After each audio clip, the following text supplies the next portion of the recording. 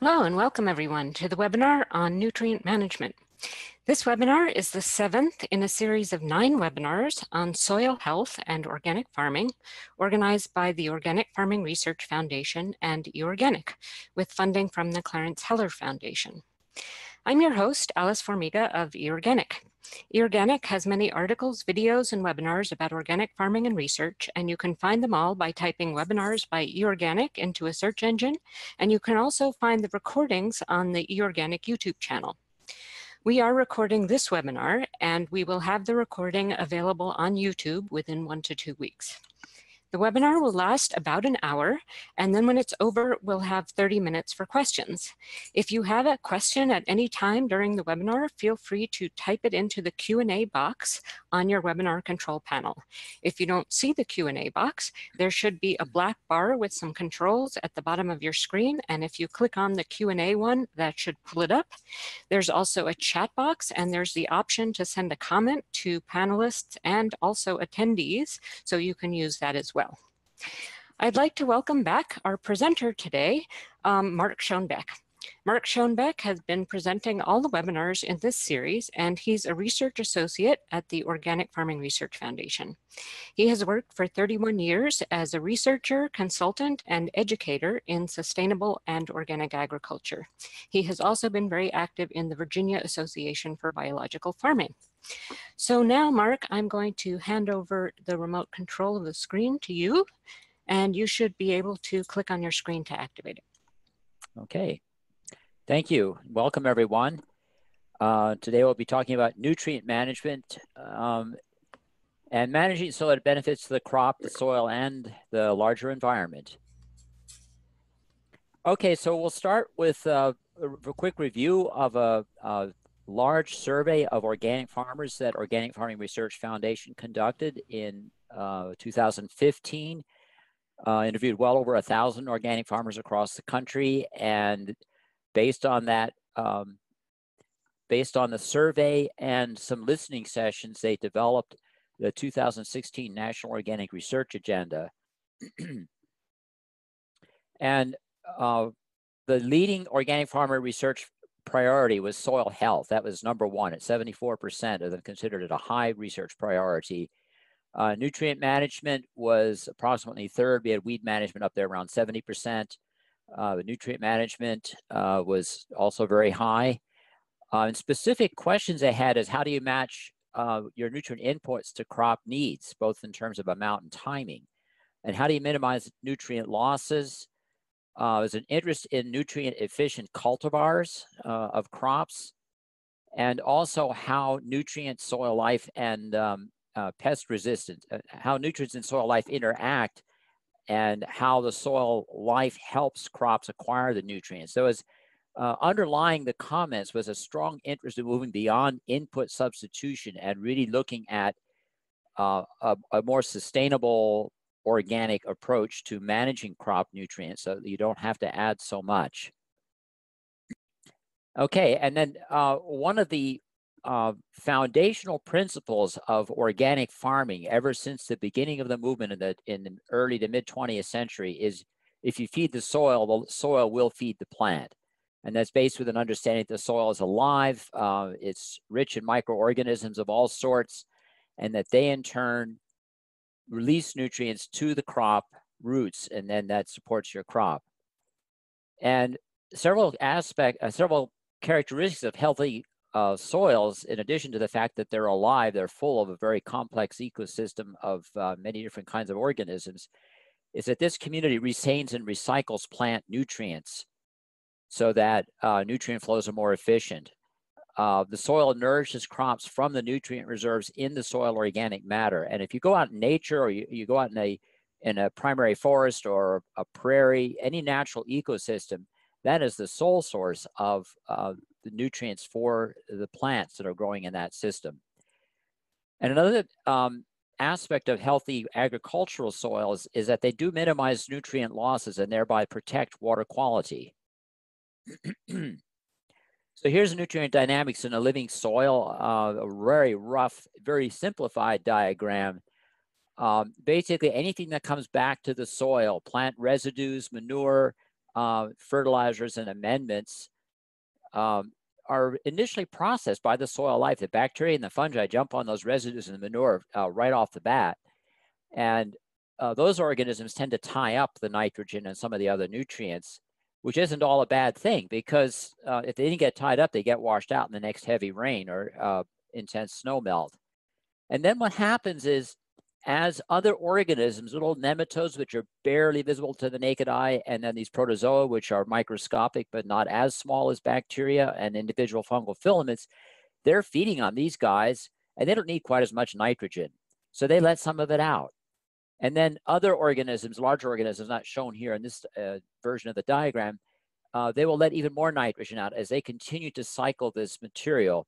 And then you have the large uh, critters, the earthworms and the um, insects and mites that you can actually see uh, in the soil if you look at it uh, with naked eye, they're kind of like running this whole mass through themselves continually and further promoting this process of, pro of um, first holding and then releasing nutrients. One thing that happens is these materials then get converted into soil organic matter, uh, which is then gradually drawn upon. Some of these organisms eat uh, a fraction of the organic matter, which we'll talk about later, the active organic matter, and then recycle those nutrients. And again, that creates a slow, steady trickle of nutrients into the plant root zone. Also, some of these organisms and the plant roots themselves will access soil minerals in a way that very slowly over time solubilizes um, some of their nutrients, uh, phosphorus, potassium, many micronutrients, um, not so much nitrogen, that really is in the organic matter cycle and also from the atmosphere by, by nitrogen fixation. and more and more research has shown what a intimate two-way exchange occurs between the plant and the soil life. As the plant photosynthesizes, it sends a third to a half of its goodies underground, and some of that goes to grow, grow more roots, but some of it goes right out the roots to feed the soil life. And in return, the soil life helps the plant pick up uh, both the major and the minor nutrients. So there's this uh, return of nutrients to the top growth, uh, to the plant, and that encourages even more growth and even greater capability of feeding the, the soil life. So um, there's a, a, particular group of organisms that are especially important to note. Those are mycorrhizal fungi. A lot of you may be familiar with them. But in annual crops, the type of mycorrhizal fungi they associate with, they grow inside the root tissue. Now, they don't actually penetrate the cells and parasitize them. They go between the cells and maybe initially they're a little bit greedy about snatching those uh, plant uh, photosynthetic products before the plant can even release them to the soil. But that the fungi then grow out into the soil, doubling or tripling the effective root system and greatly enhancing water and nutrient uptake. So the plant ends up benefiting by giving uh, 5 to 15% perhaps of its energy directly to this particular group of organisms. Now, there are some plant families that don't enter into this particular uh, symbiosis. Uh, the brassica family, cabbage uh, and um, cabbage, radish, cauliflower, uh, kale, etc., um, and also the spinach and beet family don't do it, and the buckwheat family. However, they associate with other organisms that live in the rhizosphere or also in the root tissues that provide similar functions. But one of the things to remember is that uh, these mycorrhizal fungi, they also help stabilize soil organic matter. They build stable organic matter in the soil, and they also protect the host plant from disease. It's like a, a, a disease, a, a pathogen comes along, tries to attack this root, and it's covered in mycorrhizal fungi that are putting out um, antibiotics and otherwise de deterring the uh, pathogen. So it's many functions that this particular group of organisms performs uh, in relation to nutrient management and uh, plant health. so let's look what happens when the crops have enough nutrients. Um, a well-nourished plant, there's usually three things working for it. It's what I call the triangle of soil health. Uh, never mind the disease triangle, let's get into the health triangle. That's good physical conditions so that the roots can go deep and wide. There's no hard pan, there's no surface crusting. Um, there's uh, good chemical conditions, like there is adequate amounts of the desired nutrients in the soil solution and adequate reserves in the soil that can gradually uh, continue to replenish uh, the soluble pool. And thirdly, but most important, is that the soil life is abundant and it's balanced and it's diverse. You have a fully functioning soil food web, and it's critical in uh, creating this uh, soil to plant uh, nutritional link. So several causes of uh, crop nutrient deficiency. On the left, you have a situation where you got a pretty good soil, but there's one nutrient that it's short in. For instance, very often the soils in the southeastern United States are short of boron. Um, in the uh, Great Plains, where the soils are somewhat alkaline, it's often short of iron or some other micronutrients. Also, phosphorus tends to get tied up. So there's a shortage of available um, uh, nutrients, and that'll slow crop growth down somewhat. Another thing that can happen is you have plenty of nutrients around, but the soil life has been depleted by either excessive tillage or maybe excessive nutrients, or perhaps the soil was fumigated recently. Any of these circumstances, or the soil simply hasn't been receiving enough organic inputs. There weren't any cover crops, there weren't any compost additions. So you have a depleted soil biota. So uh, the, the link breaks down here. the third situation is you can have a hard pan. And if you have a hard pan uh, severe enough to stop root growth at eight inches, Look at all of this soil volume that the plants cannot access. So the first thing that's going to happen is that plant's going to be much more susceptible to drought because it doesn't rain for a week, the top eight inches dries out, can't get down there to pick up the, the subsurface reserves, but also nutrients. A lot of the nutrient reserve is also down here. So uh, the plants will be restricted in their ability to absorb uh, the nourishment they need. Another circumstance that can happen is something that I call a chemical hard pan. Uh, it's not an official soil science term at all, but it's how I think of it. When the subsoil is so acidic and low in organic matter, which often occurs in uh, some of the very highly weathered soils of the southeastern United States, you will have an excessive amount of aluminum available in the soil uh, solution in a, in a soluble form, and that stunts and inhibits root growth. So you may have a soil that doesn't have a bad physical hard pan, but the pH and the organic matter drop so that you have high aluminum and then the uh, roots can't penetrate. And sometimes there's a very specific remedy to that, either a highly, um, highly uh, pulverized limestone and or gypsum. The calcium tends to push the aluminum back out of solution. So that is a, a specific remedy for that. Although uh, in the long run, just good soil health building deep root cover crops will relieve all of these conditions in different ways. So soil health and plant nutrients. really good, healthy, living soil like that that's full of life, it's going to grow beautiful crops. Your soil is a little bit below par. You can make them look like that, that good, uh, by adding uh, soluble uh, nutrients. And uh, you'll notice the school buses in the background. This is an urban farm in downtown Birmingham, Alabama. And I just wanted to point out that um, everything I'm talking about today can be applied to the urban farm as well as, as, as out in the country. Uh, same rules apply. Um, so yeah, cover crops, uh, good crop rotation, uh, appropriate amounts of compost and manure, etc. Uh, build soil health. One thing to remember is that soluble nitrogen, phosphorus, and potassium either from uh, synthetic fertilizers or even from faster release organic materials, will have something of a detrimental effect on soil health. Um, when they at really high levels, you have a salt effect, a salt stress, which is uh, um, directly harmful. But more subtly, if your phosphorus levels get too high or your nitrogen levels get too high, some of those highly beneficial organisms that help plants to um, obtain the nutrients they need from organic and slow release sources, uh, from organic matter, etc. Those organisms are deterred by those high levels of nutrients, in particular the mycorrhizal fungi, which I emphasize as being exceedingly important for uh, crop nutrition. If the phosphorus level is too high for any reason, whether it was um, superphosphate on a conventional farm, uh, manure on any farm or organic compost used at rates beyond what is appropriate, uh, what is optimum. Once that gets too high, the mycorrhizae go to sleep.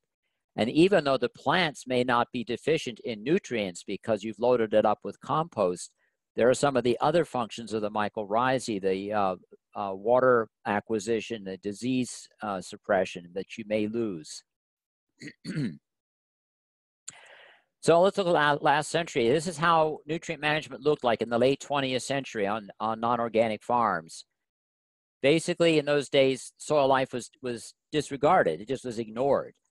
And so based on research conducted on conventionally managed soils of crop responses to phosphorus and potassium, and then simply uh, total nitrogen consumption by crops. They don't even bother to measure soil nitrogen. They just say, okay, you're growing corn, you want 140 bushels per acre, you want 140 pounds of nitrogen.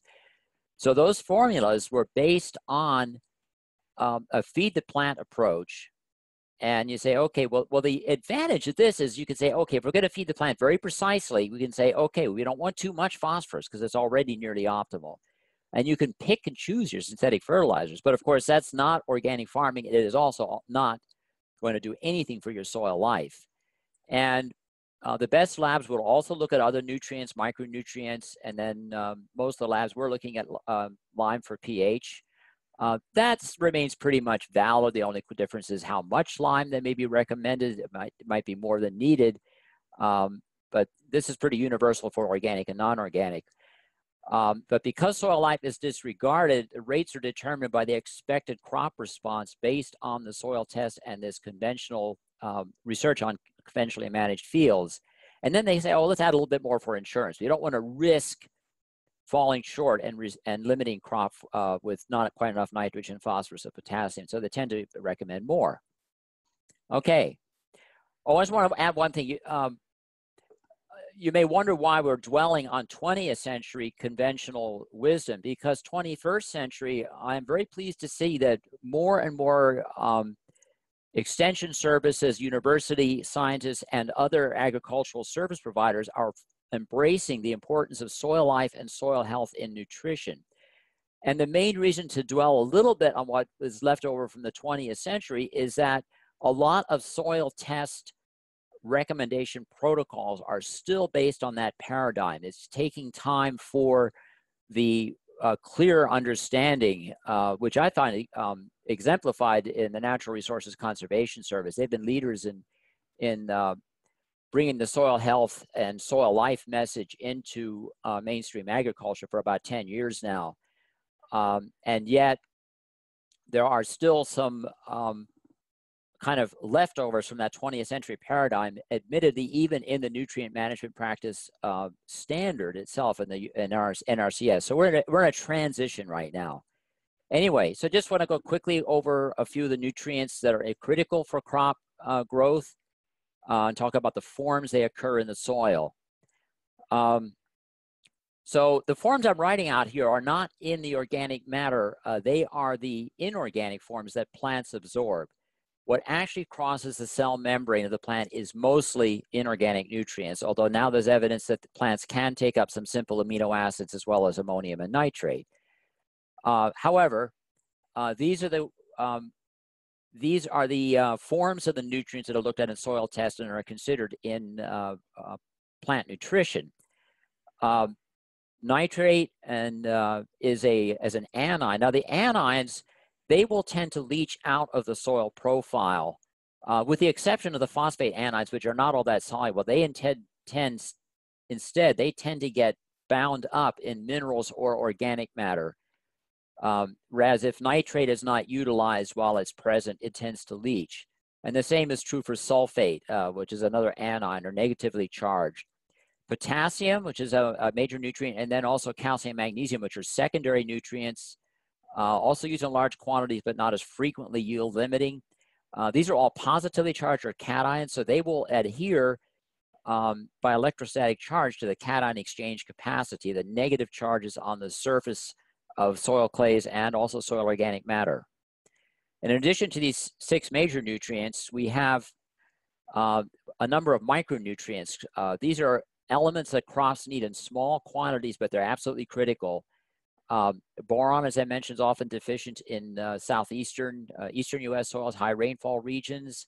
Uh, copper and zinc, occasionally deficient in various soils. Um, iron is one that's typically um, can be limiting on, uh, as I say, on the uh, lower rainfall, more alkaline soils. Uh, manganese, molybdenum um, is not on standard soil tests. It is needed in very tiny trace quantities, especially by nitrogen fixing plants. Um, nickel is one that's come up uh, often in relation to pecan production, but all plants need a little bit of all of these. Now, sodium and chlorine are rarely deficient, and if anything, your biggest issue is whether there's too much of one or both of them because of a salt situation. Um, there are three other elements that plants don't use directly, but uh, it's really good that plants tend to absorb a little bit of them because they're essential to animal and human nutrition. It's cobalt, selenium, and chromium. So how does soil life and soil organic matter work in relation to nutrients? Well, this is basically what happens.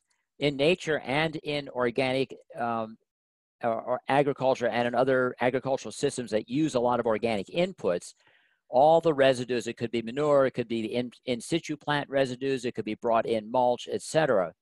All of that is first digested by the soil life. And as that occurs, some of this material turns into what we call active soil organic matter. That's organic matter that turns over in months or years or maybe a few decades. And then some of it becomes more stable organic matter, and its half life is in the neighborhood of centuries to millennia. So the stable organic matter provides long term carbon sequestration and long term uh, structural benefits and water holding capacity to the soil. In addition, it has a, uh, a negative charge. It's even more effective in holding these cations, potassium, calcium, ammonium, magnesium, and some of the micronutrients like zinc, copper, and iron, even more effective than uh, soil clays. And in fact, a lot of stable organic matter is stabilized by the organic residues associating tightly with clays. You get a clay organic matter complex, and that builds up this cation exchange capacity.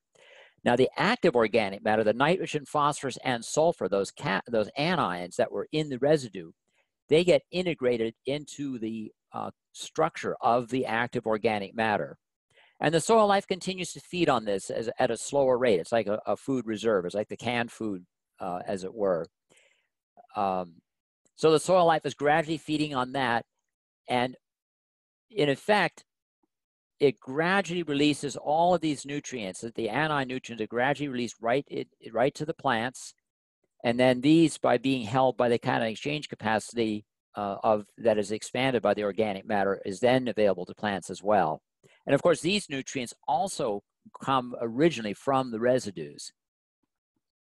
Okay so the next step in uh, uh, organic nutrient management is what I call feeding the soil a balanced diet.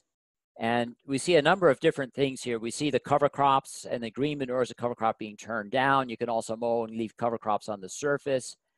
Uh, crop residues, this is an example of a very high residue crop uh, growing up in central Vermont by Eliot Coleman. He planted sweet corn. And then and when the sweet corn was emerged, he planted soybean as a cover crop between the rows. The corn is long harvested. Uh, the so- soybean hasn't been killed by frost yet, but it's going to happen any day. But look at all of that residue that's going back and think of the roots under the surface. Organic mulches, uh, brought in organic materials, tree leaves, um, hay and straw.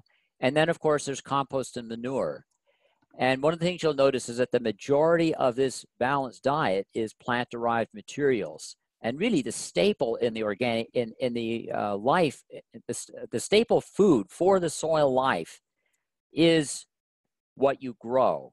It's the cover crops it's the high biomass cash crops it's the diversity of crops in the rotation. These onions may not be contributing that much you know it's a small biomass here especially when they're young but if that's part of a rotation that immediately goes into a cover crop or into sweet corn or something like that all of that is feeding the soil continually through the root exudates. Same way over here. And so what you're bringing in is supplemental. And the reason to bring some materials in is that when you're harvesting, you're removing organic matter and nutrients. And of course, when you're tilling, uh, which in organic systems, you mostly need to do some tillage, um, that is costing you some organic matter.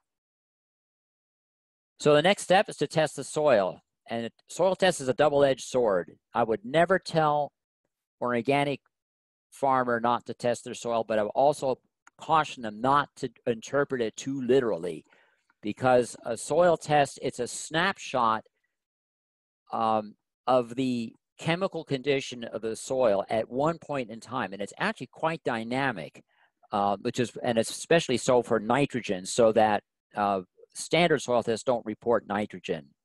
But they will give you is the pH or the acidity, and that's pretty important to take note of because when it gets out of balance, then certain nutrients become hard for plants to pick up, and that's when you need lime, or in the case of an alkaline soil, you might need a sulfur application. Uh, give you an estimate of plant available phosphorus, potassium, calcium, magnesium, and some micronutrients. The best soil test will give you at least five, which be uh, boron, manganese, copper, zinc, iron, um, those five. But uh, it'll depend upon the region, uh, what which nutrients tend to be most often uh, critically short. A good soil test will give you a, a, a percentage total soil organic matter, and also will tell you what the cation exchange capacity, the capacity to hold those positively charged nutrients. You can get additional tests, uh, nitrate, nitrogen. If you take it at a certain time of year, it can provide useful information as to how much uh, plant available nitrogen is there. And there are newer tests that in vari- through various means estimate potentially mineralizable organic nitrogen. It's telling you not only a snapshot of the nitrate present right now, but how much nitrate and ammonia in the plant might be able to obtain over the course of the season. Uh, there's a new test for active soil organic matter, uh, which uh, is a pretty good indication of soil microbial activity as a soil microbial respiration. These are some new soil health tests. So the next step is you look at the soil test, you say, okay, what, what nutrients do we actually need? And uh, to be perfectly honest, the more I, the more research I look at more in, from recent years of soil life dynamic soil nutrient cycling, the more conservative I tend to become in recommending inputs. Because very often, if you improve the soil health by improving your rotation and the cover cropping and uh, easing up on the tillage when practical, uh, very often you will not need as much um, applied nutrients as suggested on the soil test. But you do use um, organic and natural mineral uh, amendments, such as the ones we're seeing at the right here. There's blood meal. This is a thorvin kelp, uh, which is mostly micronutrients. There's potassium sulfate, which is a natural mineral uh, that can be used if your potassium is really short. Uh, kelp meal, borax, that's for the boron deficiency. And this is a liquid uh, fish fertilizer, um, NPK. Um, you will need some inputs perhaps to restore really depleted soils and to remedy specific deficiencies. Um, and of course, adjusting the soil pH uh, is pretty standard. If, you, you're below about 5.5 uh, to 6.0, you want some lime. Um, and you want to put on enough to sustain crop yields. Uh, some crops you will simply have to add some fairly fast release organic nitrogen like blood meal or feather meal to really get a, um, a, an economically viable yield. And you also want to replenish nutrients removed in harvest. You don't want to be just taking nutrients off and, and not replenishing them at all. We'll uh, talk about a few challenges that organic farmers encounter in nutrient management. One is, how do you translate a soil test to organic? And these are the recommendations I was talking about before. The lime, uh, nitrogen is based on the crop only. So it's a flat number. I mean, you could send 12 different soils in, and if you put tomatoes your crop, they'll all come back saying 100 pounds per acre or whatever, something in that range. Phosphorus and potassium are based on the soil test phosphorus and potassium, and again, the crop grown. Here's some challenges that organic uh, farmers face. One is that um, because it's biologically based, nutrient cycling in organically managed soils is more complex than is assumed to be the case uh, in standard soil test recommendations. Also, the type of amends you use are variable in their NPK contents and in how soluble they are. And there's been a lack of research. Oh, this is beginning to be remedied thanks to the Organic Research and Extension Initiative uh, and strong interest on the part of NRCS in organic and sustainable systems um, and the Organic Transitions Program. But there's been historically a lack of research on nutrient management in organically managed soils. Well, here's an example of how that might affect um, the soil test and your actual uh, fertilizer need. Uh, this is the amount of nutrient applied. This is the yield. This is a response curve. And the arrow is an estimate of, of the, the economic sweet spot. At this point, the additional fertilizer is costing more than you're going to add to your profit at market. So you don't want to put on more than that for both an economic and ecological reasons. Um, if your soil test is low, typically you would expect a, or a large response over a long range of nutrient levels and a fairly high um, appropriate uh, you know, rate to apply to get your optimum yield. But you can have a soil that tests low on that same nutrient, but if its biological activity is good, the crop may only need a little bit of assistance to get uh, to its optimum yield. And of course, at a high soil test, there'll be little or no response to added nutrient. In fact, the definition of a high on a soil test is no expected response. Nutrient levels are already optimal. The next challenge is nitrogen. Nitrogen is the most difficult nutrient for any farmer to manage, but especially so for organic crops for a number of reasons. Um, if, if your soil, you're starting with a soil that has not yet been built up in terms of its overall health and fertility, if the soil life itself is depleted and out of balance, nitrogen will not easily get into your crop. And this will often happen when the field is newly transitioned to organic Another thing that can happen, and this is a pitfall for some beginning organic gardeners and farmers, is you're tilling in a lot of organic matter and feeding the soil, but if there are nitrogen poor residues like straw or tree leaves, you're going to tie up nitrogen for a while. Doesn't mean you lose, lose it forever. In fact, you've, you've locked it up, but, and it'll, it'll be a while before you can get to it. Another thing that happens is if you plant a heavy feeding crop like broccoli or, or uh, cabbage or lettuce or spinach in the early spring when the soil is still cool, even a very healthy soil will release nitrogen rather slowly, and you will not get sufficient nitrogen to that quick maturing spring, like it's an early broccoli plant in the spring. Um, here, the nitrogen deficiency was exaggerated by the fact that we uh, had basically uh, roll crimped a rye cover crop and planted this no-till. So that's an example of this. It wasn't tilled in, but it's still, uh, the root mass is still tying up nitrogen. You can have a situation where excessive rains have leached out the soil nitrogen. You could have a very healthy soil and you plant your lettuce and there's a terrific downpour and, and lots leached out. That's another thing that can happen. Your soil is cold or dry. That'll slow this biological turnover. And here's the other one that I'm really interested in seeing this addressed, and I'm, it is beginning to be addressed. Today's crop cultivars were developed in and for high input conventional systems. And there's even some evidence that as a result of the selection in heavily fertilized fields year after year, they yield great in those circumstances, but they have partially lost the ability to partner with soil microbes such as mycorrhizal fungi and nitrogen fixing bacteria um, and nitrogen cycling bacteria, ones that turn organic nitrogen into plant available nitrogen right in the root zone. These new cultivars have lost some of their ability to associate with those highly beneficial organisms. So you try to grow them in an organic system and you take the feed the soil strategy and uh, the crop suffers. So there's some potential trade-offs in nitrogen and soil health. Um, here's an example of a roll crimped cover crop uh, of pearl millet. Uh, organic no-till, where you grow a massive cover crop and then you uh, terminate the cover crop with little or no soil disturbance is excellent for soil health, but it can slow the rate at which nitrogen is mineralized and released to the next crop. And um, the, the, the, typical response, if you want to stay in business, you got to provide the nitrogen. Now you can provide it in concentrated forms such as poultry litter or blood meal. Um, organic standards allow you to use a little bit of uh, Chilean sodium nitrate.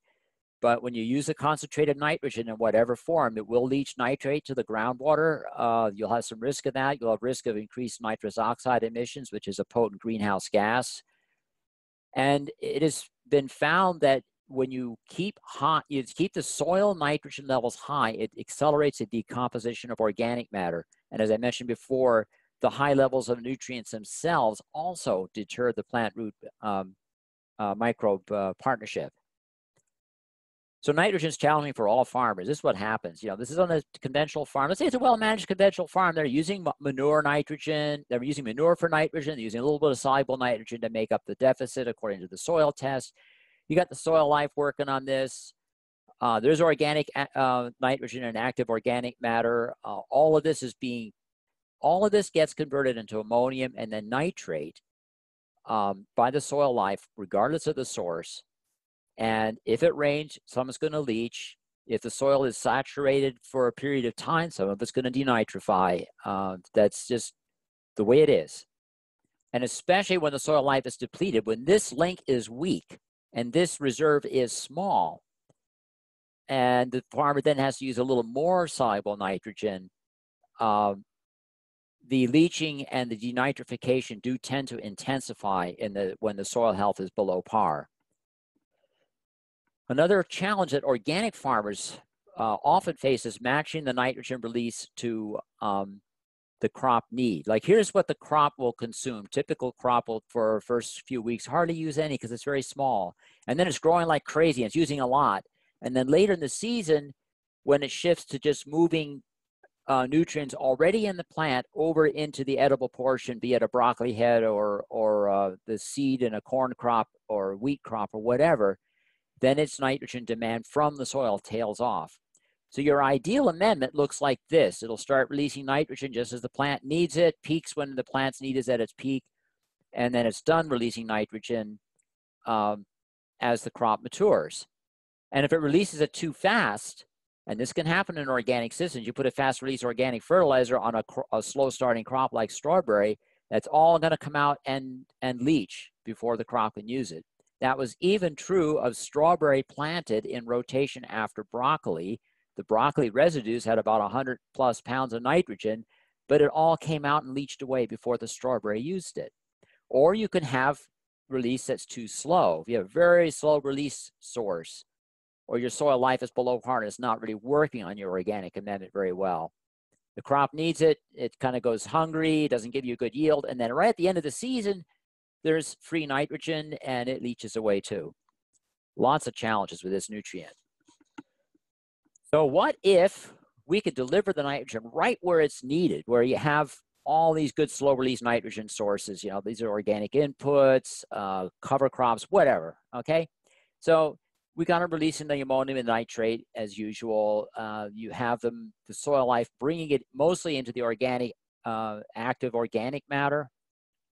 And what if it could be released right in the root zone? Like the only place you have a whole lot of nitrate and ammonium is right where the plants need it. Uh, and of course, if you have a nitrogen fixer in your in your crop rotation, it'll take it right out of the atmosphere. Uh, but this is called tightly coupled nutrient cycling or tightly coupled nitrogen cycling. And in fact, the good news is some evidence that this can occur. We'll talk about that a little bit more later. So another management challenge um, is phosphorus. Uh, crops use about five to eight pounds of nitrogen for every pound of phosphorus. And typically, a good vegetable harvest will only take about 10 pounds of elemental phosphorus or 23 pounds of phosphate, P2O5, off the land per acre. Uh, whereas the same harvest can take as much as 50 to 100 pounds each of potassium and nitrogen. So the manure and compost provide these elements in a ratio of about two or three to one.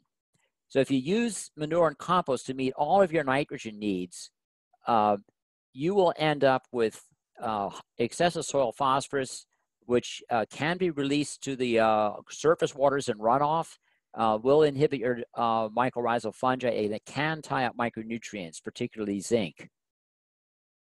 So here's another challenge, high tunnels especially in the humid zone uh, where farmers are used to more rainfall than evaporation, and there's a net downward leaching of, of uh, salts in the soil. You don't have salt accumulation, and they put up a high tunnel. You've created a semi-arid environment. You've cut off the rain. You're only putting on enough moisture through drip irrigation to maintain your crop. Uh, they're great for year-round production. Um, and very often it's intensively uh, multi-cropped. Uh, what will tend to happen is you deplete the nitrogen and potassium, and then you try to make up for it with a lot of compost. You'll build up the phosphorus uh, beyond desirable levels. Um, intensive production, especially if you're tilling after each crop, you're going to burn up the organic matter. The higher temperatures and longer growing season further accelerate that loss. And if you're not growing cover crops, and it is hard to grow, uh, justify growing cover crops um, in such high value real estate, although more and more um, uh, professional um, service providers are recommending it because it really is important for balancing and, and maintaining soil health. But you have a reduced residue return. And the other thing you can do that can happen with large inputs of organic uh, fertilizers and compost is you actually build up salts in the tunnel, in the high tunnel. And that can occur anyway, just from the nature of the, of the uh, soil ecosystem there. So let's look at some goals of organic nutrient management. Basically, you want abundant crops and clean water. And you know, maintaining uh, the yields and quality. And you want to build the soil capacity to meet the crop needs with minimal input the healthier your soil, the more the crops can get what they need from the soil and the less you'll need to add. And of course, you want to remedy the deficiencies and imbalances I mentioned and um, replenish what you take off. And if you do have an excess, you want to draw it down if possible. And if you have an excess of potassium, it's pretty easy to draw that down because you just don't add any. And you're harvesting off 50, 100 pounds per acre every year, and it'll come down. Phosphorus is more challenging because you're only taking off a small amount every year. So you really want to avoid those excesses, especially in phosphorus. So how do you, uh, replenishing nutrients? Uh, if you look at vegetable crops, these are some estimates. Um, and I wanted to mention there are some field, there are some lecture notes that go this, that go into greater depth and provide the resources and the references from which a lot of this information is derived. And uh, there seems to be a formatting problem here. This is nitrogen, this is phosphorus. Oh, excuse me, let's go back.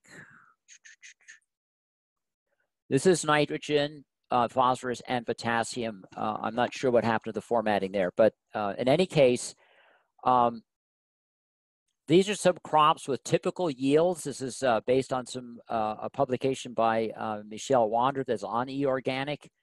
Um, it's, a, as an article was written a number of years ago. And these are the typical nutrients removed. Now, I, I did, I left, uh, put a range for nitrogen. There was a very low ball estimate in the article that I mentioned, but then when I looked up the nutritional value of the edible portion and, and calculated back, I got somewhat higher figures. But still, we're looking at um, much lower amounts of nitrogen that are typically recommended in a soil test. I mean, how often do you have say you're to grow onions or broccoli and they tell you to put on only 50 pounds per acre. That's rare. But look at how little phosphorus is removed. And then um, here's the potassium removals, which some are, sometimes are kind of higher. And you'll see uh, recommended rates. And this is for phosphorus and potassium on a high soil test, or which is optimal. So we've got a situation where uh, here's broccoli. A good broccoli crop will take 50 pounds and they're having 175 pounds. It's going to take seven pounds of phosphorus and they're uh, recommending 22 and even in, in some, uh, some crops as much as 44 pounds. And that's on a test that says high, which means optimal. So we have to wonder what's going on here. Now, one thing to look at, if you're an organic farmer using mixed compost that's fairly rich, it's got some manure in the starting mix, typically it's about a 1-1-1 analysis. So when you put that down, you're going to give, you're going to uh, five tons per acre. And that's a very light rate. You put five tons per acre of compost broadcast, you could just barely see it on the field. It's a little thin fairy dust layer. Um, but you're adding 100 pounds of nitrogen um, and you're adding 44 pounds of phosphorus, about fourfold what you need for most of those crops or more, and then 83 pounds of potassium. So these two, uh, that's a little higher than the removal that's about the range. So, uh, and then poultry litter, this is a common fertilizer, uh, 543 is a, a um, use it anywhere from a thousand pounds to one ton per acre, and you get a similar emphasis of overloading of phosphorus. Okay. So look at field crops. Um, again, I'm, i apologize for these. Uh, um, I'm not sure what's happening with the formatting here, but I've created the uh, PowerPoint presentation that was below this uh, last line, not overlapping it. Anyway, these are estimates from some Virginia Tech uh, uh bulletins, extension bulletins I I, have seen. Uh, these field crops do tend to remove more nitrogen and uh, especially grass hay or corn silage remove a lot of potassium. And then again, you can look at the comparison. If you put on these materials, uh, you will not be replenishing the nitrogen, which is not a big problem if you have legumes in your rotation. You're fixing a lot of it. And if you have healthy soil, even non-legumes, there's fixing some in their root zone. Uh, potassium, uh, you have plenty. You're, you're, you're um, exceeding the replacement for your grains, but the forages consume a huge amount of potassium in the harvest. And again, the phosphorus, uh, these crops do remove more phosphorus, but not quite as much as being applied. Okay, so this is some interesting research that was done by Dr. Robin Kloot, uh, presented uh, once at an organic agriculture research symposium in 2017. I also heard him give the same uh, results on a um, an NRCS webinar. Um, and he did these studies on southeast coastal plain sandy soils. These are not known for their high fertility. This was not an Iowa mollisol by a long shot. He did a corn, soybean, wheat rotation with winter cover crops, managed them organically, got a soil test, and he either applied the recommended phosphorus and potassium from NOP uh, allowed uh, materials or did not apply any at all. Uh, nitrogen was applied at half of the rate recommended by the soil test. The results were, uh, after several years, those cover crops allowed that rotation to build soil organic matter significantly, which is a real accomplishment on these soils. You get that to go up from 1.2 to 1.7 like he did. That's a substantial gain. The grain yields uh, were 100% whether or not the phosphorus and potassium were added and 50% of the recommended N was sufficient. Furthermore, even though he was harvesting off phosphorus and potassium with those grains, at the end of five or six years, there was hardly any change in the soil test phosphorus or potassium. And he points out several things about these standard soil tests and recommendations. One is they only measure the top six inches of the soil.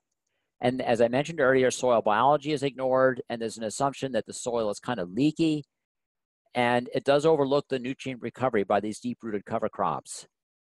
And he summed it up. He said, living soil changes everything. So this is an interesting challenge, broccoli. Uh, I think this is a plant breeding need. Broccoli grown organically or conventionally needs huge amounts of nitrogen. Uh, in, now this level, uh, 220 pounds per acre, that's for optimum yield. That's an economic optimum. That's not the absolute maxed out level, but that's the level up to which it really paid the farmer. In fact, um, in trials in Oregon and California, the increase in yield with increasing nitrogen was repaying several dollars on up to $30 for every dollar spent on feather meal nitrogen. Now, feather meal is not the cheapest fertilizer out there. It's not like ammonium nitrates. Now, here's this uh, tight nitrogen cycling that I mentioned that earlier. What if you have those, those uh, good organisms delivering the desired nutrients right in the root zone? Uh, there was an interesting study UC Santa Cruz. They looked they, they looked at organic tomato fields. They, were, they found three uh, nutrient cycling patterns. One is nitrogen deficient. The organic farmer was not providing enough soluble nitrogen. The uh, soil life and the soil organic matter were on the low side. Uh, so there was not, not, not much soluble nitrogen and, and kind of low yield. It wasn't extremely low, but it was definitely nitrogen limited. And nitrogen saturated, you had high soluble nitrogen maintained by higher inputs of fairly concentrated organic fertilizers like guano and, and uh, uh, poultry litter and Chilean nitrate, and a high risk of uh, leaching, even though you also had the high yield. And the third set of fields, there were four fields that had tight nitrogen cycling. The primary amendment was a compost that was made of a wide diversity of materials and had a moderate C to N ratio, about 18, 20 to 1, maybe 15 to 1, something in that range. And this material released nitrogen very slowly and it supported a high level of soil biological activity. And the soil, the nitrogen in the bulk soil, the soluble nitrogen was as low as it was up here, but the yield was as high as it was here. And both of these circumstances had very high levels of biological activity. But here, the organisms that were present were those that were that helped plants to obtain nitrogen right in the root zone. And Whereas here, the, or, the soil life was more dominated by organisms that tended to consume a lot of organic matter. So the organic matter was a little lower there. So, and uh, one of the things that these researchers found is that there were plant root enzymes that were under genetic control that were important in part in this partnership. That those plant root enzymes worked with the organisms to release and uh, absorb the nitrogen, right? Okay, so one thing we want to do is to adjust the amendment rates uh, to soil test phosphorus levels. If your soil is low in phosphorus and it's also low in organic matter, sure, build it up some of the, with compost. Because compost works in a complementary fashion with your cover crops to build soil health and fertility. But once that soil phosphorus gets to optimum, you only want to put on enough compost to maintain it. And if you're harvesting one crop a year, you're adding 10 pounds of phosphorus per acre per year. It's not very much compost. And then you want to grow legumes for, for the rest of the nitrogen. And if your soil is very high in phosphorus, you want to really cut way back on, on the uh, compost uh, if you use it at all.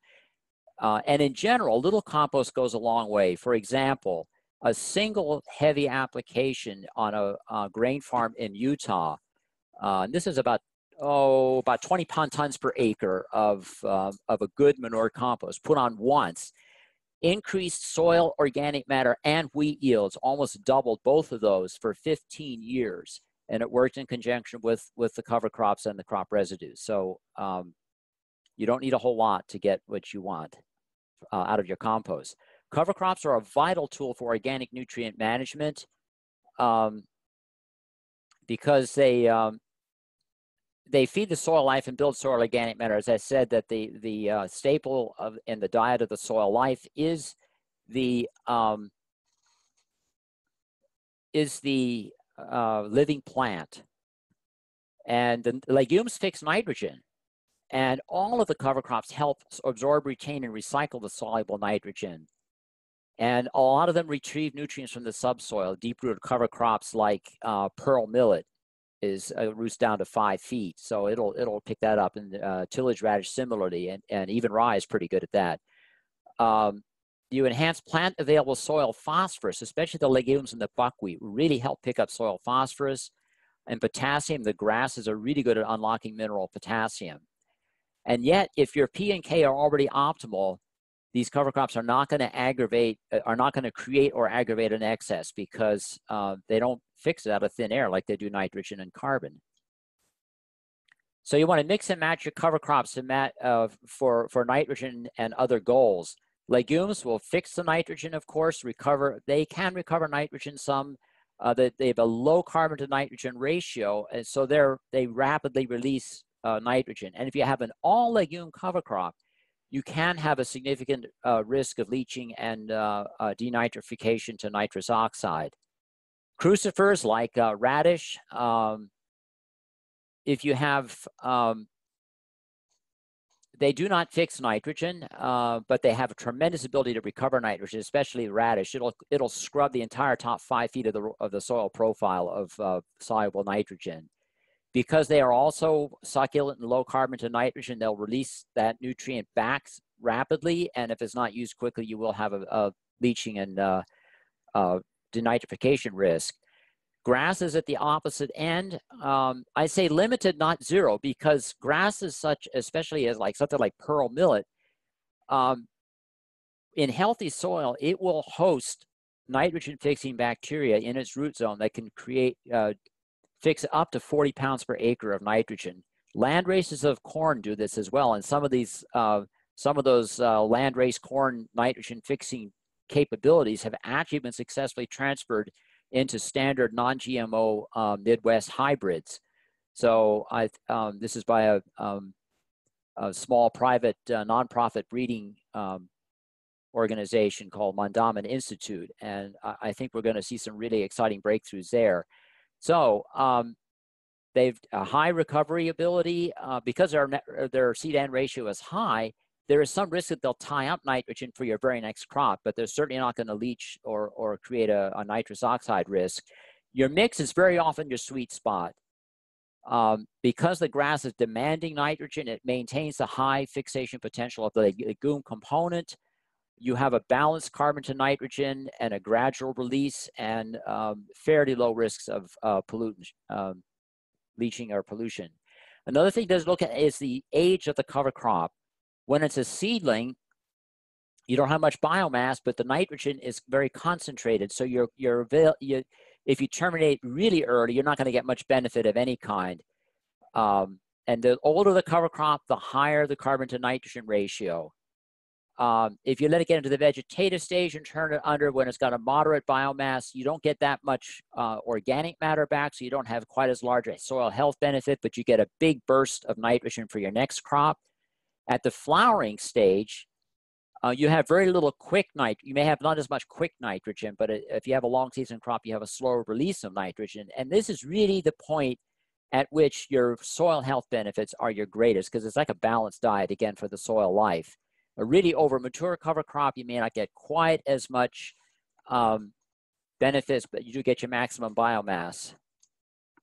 So I just want to quickly point out that managing the soil organic matter seems to be a, a trade-off, but it's really a balancing act because um, you have two key processes here that the soil life uh, performs based on all these organic inputs and living plants growing in the soil. You have mineralization. That releases both carbon and nitrogen from soil organic matter for short-term crop uptake. And yes, that does come off as respiration of CO2. So a biologically active soil will appear to be venting more carbon dioxide to the atmosphere than a kind of uh, less active or, or dead soil. Yet, even at the same time, the other series, the other important function is sequestering the carbon and the nitrogen for long-term maintenance of the soil quality. And the good news is that these tend to increase together when you use a, a take an integrated approach to building soil organic matter and soil health uh, and nutrient management, that those two uh, key functions will often increase together. Here's another trick where you can you could you, you look at your field and say, okay, you got a young crop like this. You say, okay, where do you want the nitrogen? Now, in this case, it's it's soybean, but let's pretend that's actually cabbage, okay? Because I want a heavy feeder in this example. You want nitrogen released right in the row. You want the soil warm enough so that it's going to mineralize nitrogen. You don't want a lot of weeds right there competing with your crop. So what if we just till right there? The tillage, either strip tillage or ridge tillage, concentrates the benefits of tillage and also the drawbacks, the soil disturbance or breakdown of organic matter right in the crop row. And meanwhile, you have no till here. You're not just you're not stimulating weed seeds to come up. You're not stimulating the soil life to burn up organic matter. You're feeding it all this residue. And this general concept, and, and one researcher, um, the reference again is in the in the um, uh, the the notes that go with this presentation, calls it soil functional zone management, and basically it's saying, well, we need to disturb the soil to manage weeds and manage nutrients and release them to the crop, but we also don't want to disturb the soil too much because we want to build soil organic matter. So you have both functions going on together. Um, so another way to do this is to apply your fertilizer in a band. I talked to uh, one of the researchers, Doug Collins, who did the study in Oregon on broccoli, and I said, well, did you band that 200 pounds of nitrogen? Said, no, we actually did broadcast it. And if we banded it, it might well have been more efficient. Uh, another way is you put drip irrigation right down this row and fertigate right through the drip zone planting. This is something uh, one of my uh, that uh, Dr. Ron Morse at Virginia Tech, who worked with organic no-till vegetable systems, he came up with this idea: if you plant the legume on the bed top, where you want a lot of nitrogen released, and then you plant something like sorghum Sudan that's just going to hold the soil and bind up nutrients and suppress weeds in the alley. You go through, you mow all this down, either maybe shallow till it or no-till crimp it, uh, this gets packed down by the tractor wheels, uh, knocked down by the tractor wheels, and you have all your um, succulent legume releasing nitrogen right in the crop row where you need it. So just a summary of best organic nutrient management practices. You want to build and maintain your healthy soil and grow cover crops. That's going to create the foundation. The more your soil can provide for the crop, the less you're going to have to add. And in fact, um, all you're going to need to do is replenish what you take off. And there's even some evidence that you may not have to fully replenish the potassium because there's such huge reserves of mineral potassium in the soil that as the soil is gradually weathered from the rocks, that's gradually brought into circulation. Uh, and uh, there was a study that showed there was very little response to added potassium on a wide range of uh, studies. So that's very interesting uh, to look into. Perennial sod crops will help restore soil fertility. Um, do test your soil and test your organic amendments so you know what you're adding. Uh, definitely interpret your soil tests through the lens of uh, soil as a living system. Uh, remember not take it too literally. Um, it's only a snapshot. yet it can provide useful red flags for you if something's getting very depleted or way out of balance.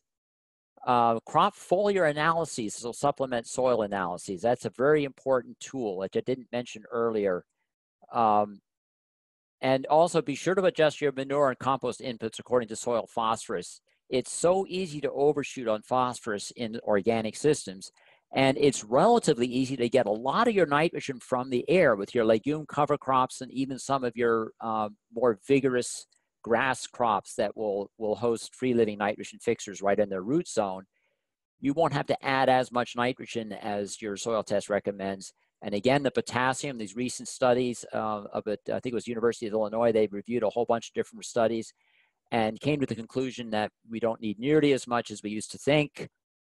So, um, and there are organic nutrient budgeting tools that are very handy. And here's another thing that I would always say, um, when in doubt, do a side-by-side trial. It is so helpful if you're looking at uh, well, gee, do I need more nitrogen? Now, this is what they did on those broccoli trials. And yes, the sweet spot was indeed 220 pounds per acre, but there have been some other studies, corn grown in a rotation with high, high biomass diverse cover crops. There are a number of corn growers, uh, organic or even non-organic, who are, who are using conservation agriculture. They found they could almost zero out their, their fertilizer inputs without any change in the yield. And then again, I mentioned the zone management. Uh, and let's see. The...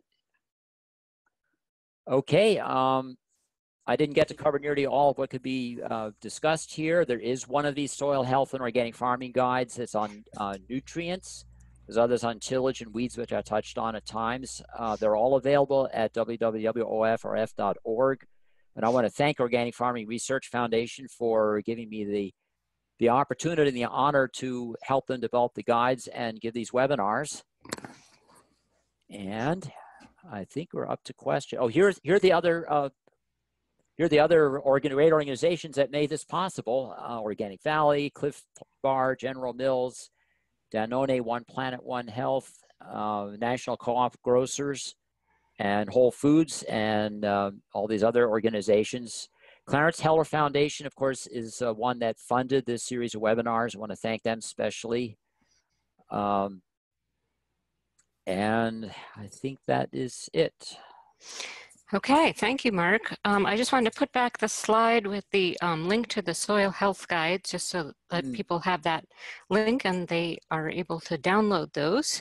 Um, they cover all the different topics um, that have been part of this webinar series, and I had put a link in the chat box to where you can find all the recordings from this series, as well as the slide handout and presentation notes from this webinar, and we will be archiving this webinar there as well. So we're going to move on on to our Q&A for the next 25 minutes or so. And if you have a question, I know many people have questions already, um, you can type them into the Q&A box on your screen and we'll be reading them out loud until we run out of time. Um, there's also a chat box where you have the option of putting in a comment to all the panelists and then you can have, there's a little drop down there and you can comment to all the attendees as well. I know a couple people figured that out there. So um, I just wanted to let you know about that. So um, moving on to the questions here here. We have quite a few.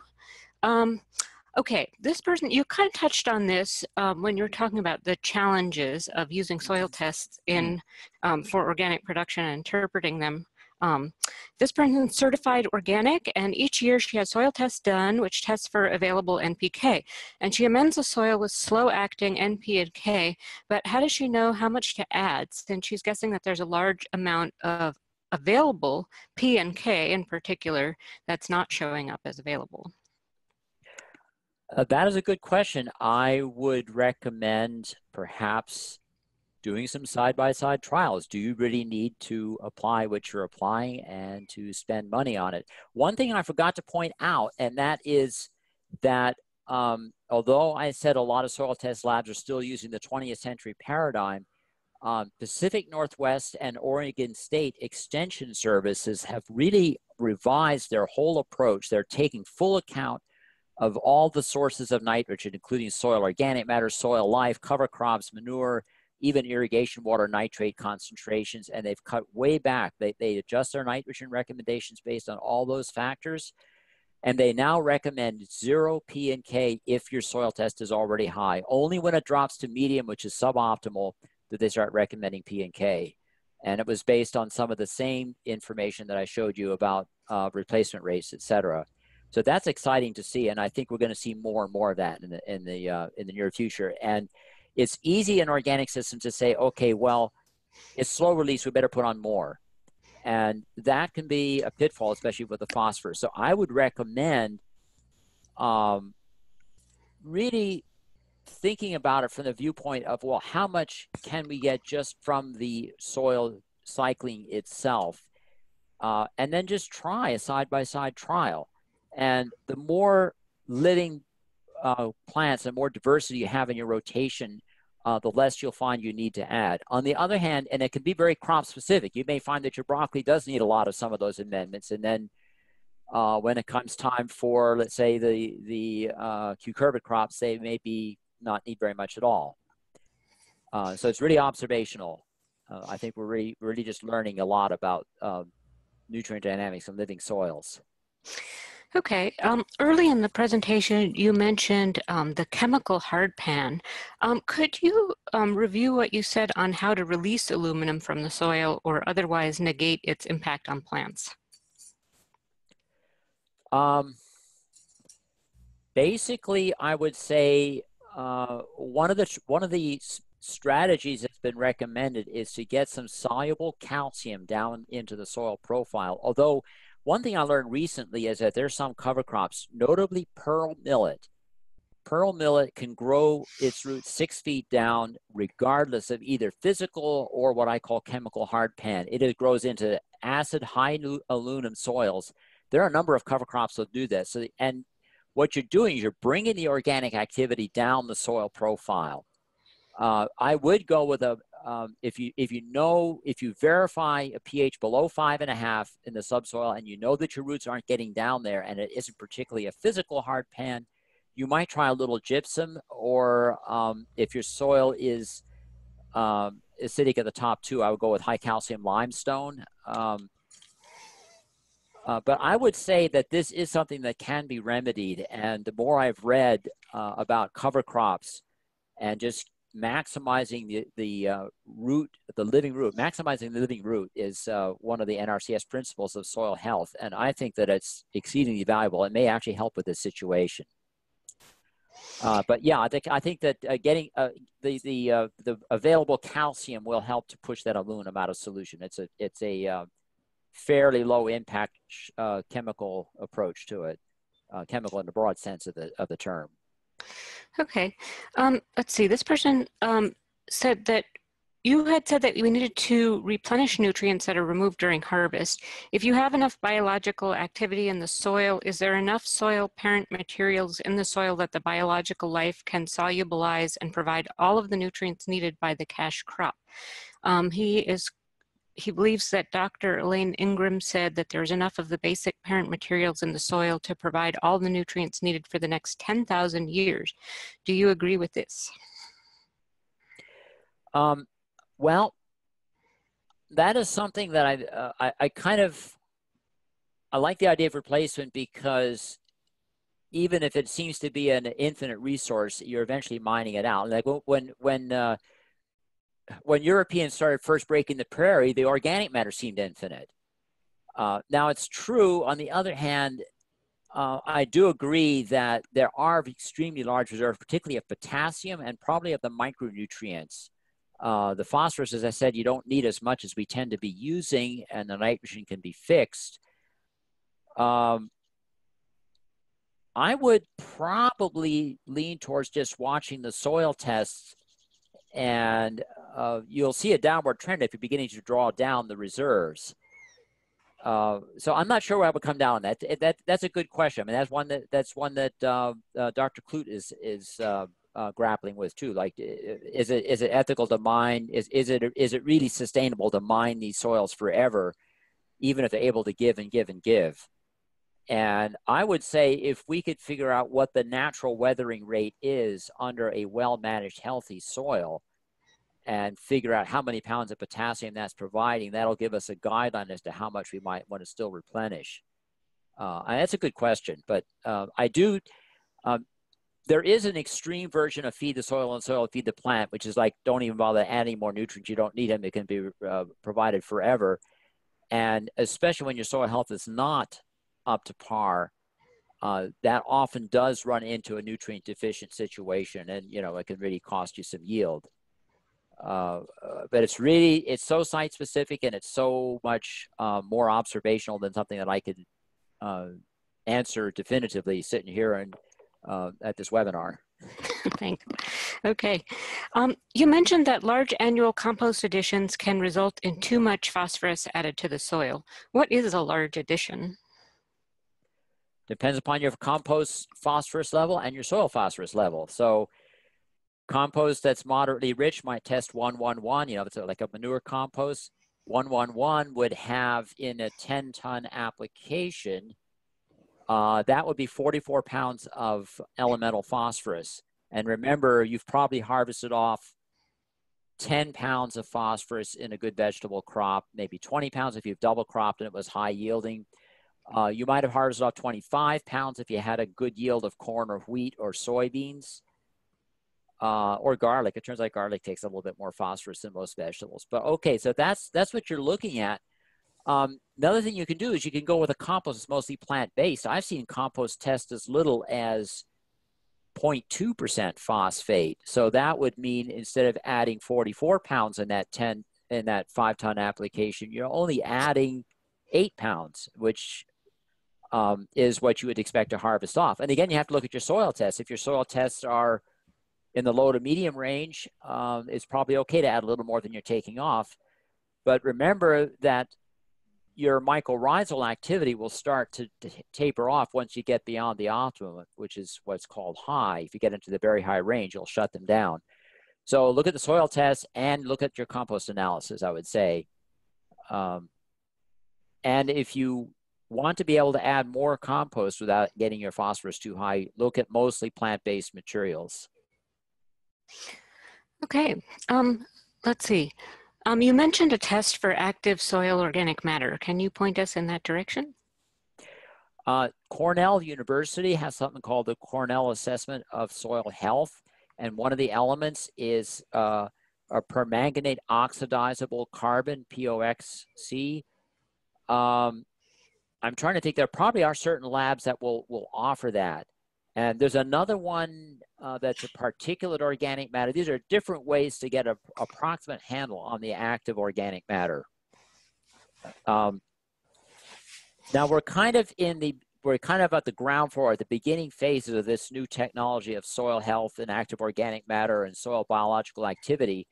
Uh, the NRCS actually just had a comment period on a draft technical note for their staff describing uh, what appear to be the best soil health uh, measurements and lab procedures. One of these is the permanganate oxidizable carbon. Uh, there is a kit that it can be done in the field. Uh, I'm not sure how widely available it is and how accurate it is, but uh, it is something that's that a number of labs, I know Dr. Ray Weil and, and uh, colleagues up in University of Maryland have been working on this for a number of years. but that is the most promising one for active soil organic matter. Okay, and also, um, can you point us in the direction of organic nutrient budgeting tools? Uh, yeah, I would say um, uh, look at the guides. Uh, there are some in the one on nutrients, and there's a new guide on soil health and risk management. There's a couple of uh, nutrient budgeting tools there. Uh, I don't really have that information right in front of me right now. Uh, there are a number of links uh, I believe there's some that are available right on eOrganic. Um, yeah, I can look for those um, during the next question because um, there are, if you go to extension.org slash organic underscore production, um, we have some articles on nutrient management there as well. Yeah. Um, and then the soil health guides, um, the link is right on the screen there, and those are free to download from the Organic Farming Research Foundation. Mm -hmm. Okay, so um, can you comment on organic matter in the soil and what percentage is desirable? Ah, that is the most site-specific question yet. okay. if you're in Florida and you're on a loamy sand, if you're at 1.5%, you're doing damn good. If you're in Iowa on one of their one of their prairie soils and you're at 1.5%, you're in terrible shape. The warmer the climate, the faster organic matter burns up, and the lower the steady state organic matter in a healthy, well managed soil. Um, and the sandier the soil, also the lower the organic matter, because some of this, uh, the major part of the stable organic matter is is adsorbed to silt and clay particles. So if you're on a loam, a silt loam, a clay loam, they'll all be fairly rich in silt and clay, and you will have a pretty substantial organic matter. So I would say uh, if you're in New England and you're on one of those forest soils, uh, you probably want at least five or six percent. If you're in the upper Midwest and you're in a cool temperate climate on one of the uh, um, the prairie soils, the mollisols, at least five, not six or eight percent. Uh, in fact, uh, there was a story of some very depleted um, uh, this uh, farmer rancher Gabe Brown, I believe he had wrote a whole book. It's called From Dirt to Soil, and by going from uh, very poorly managed uh, wheat uh, fallow crop rotation to uh, management intensive rotational grazing with a few forage crops here and there, that soil went from two to seven percent over, and it took a couple decades, but he built it back up from two percent, which is extremely depleted, up to seven percent. But I would say if you're on a sandy soil in a warm climate, uh, you know, a sandy loam, and you're in a pretty warm climate, and you're up at two percent, and you uh, you see good evidence of soil life and soil health, you're in pretty good shape. Uh, if you're on a medium textured soil in a temperate climate, four or five percent is probably good. If you're in a cool climate, and you're on one of these that was originally a prairie soil, you probably want to be get up around six or eight. Okay. Um, this person has met some people who argue that foliar application of solutions containing azotobacter and other microbes together with micronized nutrients would enhance nutrient acquisition, for example, nitrogen. Do you have any comment or recommendations about the efficacy of this type of approach? I don't really know that much. In fact, um, there's one more guide that hasn't come out yet, and I'm still doing the background research on it. And then one of the questions is, is there any value to all of these inoculants? I would, my guess at this point is that the most likely to be effective inoculants are ones that you're applying specific organisms to the seed or the root of a crop, and it's organisms or uh, a diversity of organisms that you know will tend to associate with that crop and benefit it. I mean, the most obvious and well-known example is inoculating seeds for nitrogen fixation in legumes. Okay. So I don't know about foliar applications. I know that there is, you know, a leaf microbiome as well as a soil microbiome, and that's the basis for using compost teas um, to uh, ward off disease and improve overall crop health. Okay. Um, for organic walnut orchard nutrient management, would you recommend soil or foliar testing or both? Oh, yes. I, um, a lot of, um, uh, a lot of fruit and nut tree growers do use foliar testing. For some reason, foliar testing is more widely used in perennial crops like vineyard and orchard and uh, berry crops than in annuals. I think it could be valuable in annuals as well. I would use both because the foliar test tells you what the plant is actually seeing. The soil test only tells you what the soil lab sees. Uh, hmm. and I think that this could also provide information in annual crops as well. But definitely, it's fairly standard practice to use that, use both together. Because if you, for instance, if you have a, a, a, soil test that says, okay, everything's got everything is plentiful, and the plant isn't getting enough of certain nutrients, it could either mean that there is a deficiency in the soil microbiome, or it could mean that the pH is such that it is making it hard for the plant to get that particular nutrient. So the two together will tell you more than either one alone. Okay, thanks. Um, let's see, you indicate that radishes being able to take up, um, that radishes are able to take up large quantities of nitrogen. Would a radish cover crop be useful in capturing residual nitrogen to mitigate leaching? Absolutely, it's, it's the best. The only thing is, the radish itself, when it, you know, if, if you grow it in the late summer and you have a freezing winter, uh, temperatures getting below 15 degrees Fahrenheit, the radish will die. And once it's dead, it will re-release those nutrients. So I would say to mop up nutrients and hold them, I would grow a mixture of radish and a winter cereal grain. Uh, you know, if you're growing into a winter that might kill the radish, I would have rye with it because the rye will then recycle anything that the radish loses back out. Now, if you're in a milder climate where the radish will grow or uh, mild enough that you could plant fairly soon after the radish is finished up, uh, then you will be able to utilize those nutrients. But yeah, I would tend, uh, you know, if you really want to uh, uh, hold the nitrogen, I would combine the radish with a with a more high carbon, like a, a cereal grain. Okay. Um, we had a question um, from someone who wants to know how she can apply this information to a small household organic garden. And she said um, she uses cover crops in her mid-sized garden, but um, some of her clients um, have very small gardens and don't use cover crop. Ah, how to apply it to? That is a good question. I know that I try to cover crop my garden. I'm not always successful in getting it to come up. Uh, but um, if you're if the issue is how to manage the cover crop on a very very very small scale, uh, get a sickle or a weed whacker and just cut it off at the surface. You can compost the tops. You can use it for mulching. Uh, the thing to remember, I mean, one of the things that very easily happens on very on on small scale is to just rely on compost. You build up the compost. You really create a totally different microbiome and ecosystem there because your phosphorus goes gets astronomical. And yes, the soil is rich and the crops get enough nutrients. Uh, I think more research needs to be done on the long-term effects on both soil quality and, and uh, uh, crop health and also produce quality.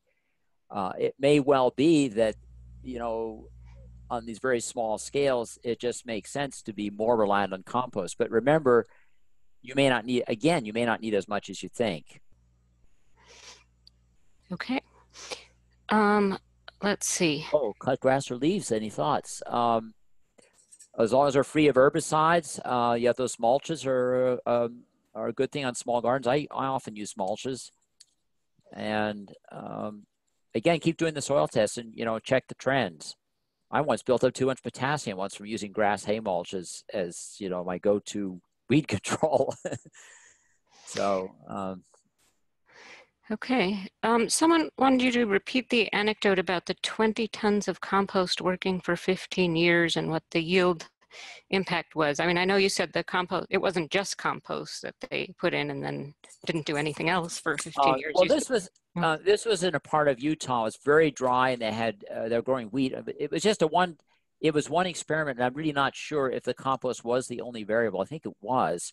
Uh, but the idea of it now, it is a very arid environment. It's probably about 10 inches of rain a year, and the yields were low. So actually, even though the numbers in terms of uh, doubling soil organic matter and doubling wheat yields were spectacular, uh, the actual increase in income from that wheat was actually not enough to pay for the for the compost. It was a I think it was a manure bedding compost. And I think it was like 20, something like 20 or 22 tons per acre. And that's dry weight. So it was a pretty heavy application. It was probably an inch deep or something like that.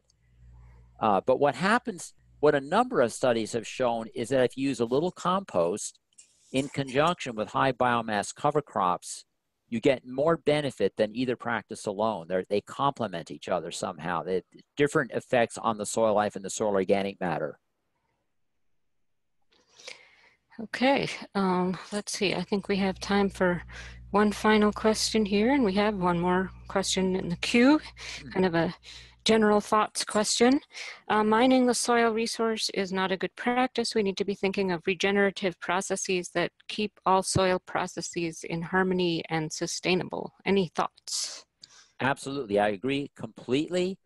I think the first uh, one of the things we need to do is to get all the nutrients that come out of society, find a safe and ecologically sound way to get them back on the land. I mean, there's so many cases of super over concentration of nutrients, uh, all of the concentrated animal feeding operations, Think of all of the organic matter that goes to waste. People burn their leaves or they send them to the landfill, uh, food waste.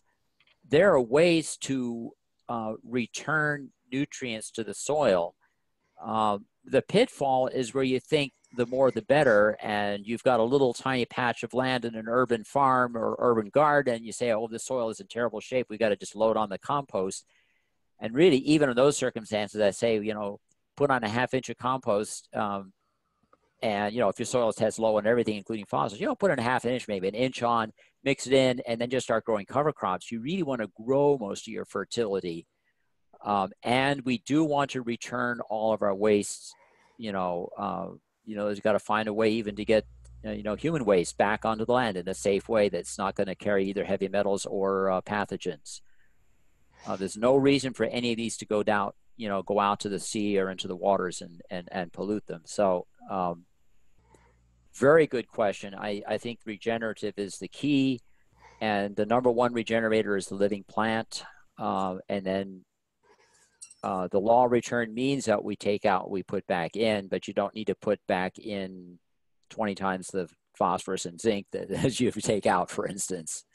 Thanks again, Mark. Um, we're looking forward to the remaining two webinars in this series, all of which are going to be archived at that link on your screen. And we hope that everyone can join us for the other webinars in this series, as well as any other eOrganic webinars this season, which you can find simply by typing webinars by eOrganic into a search engine. So thanks everyone for joining us. Okay, thank you. Bye.